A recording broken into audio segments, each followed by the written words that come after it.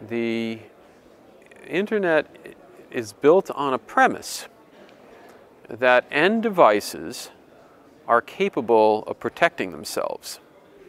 And as we heard last night, that might not be the case. If these are very little devices, you know, uh, you know, this, this phone, this phone here, right, might have uh, the ability to protect itself for a time until its manufacturer decides that it's not going to support it anymore. Well, at that point, this device is, becomes vulnerable, or soon thereafter, it becomes vulnerable uh, to being exploited.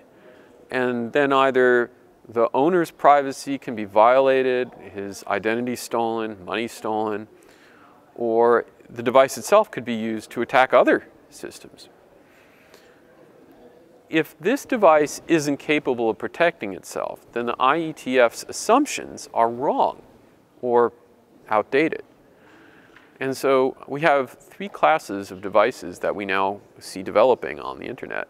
Those that can support themselves and protect themselves, those that can't support themselves and protect themselves, and then there's a gray area in the middle where sometimes they can and sometimes they can't.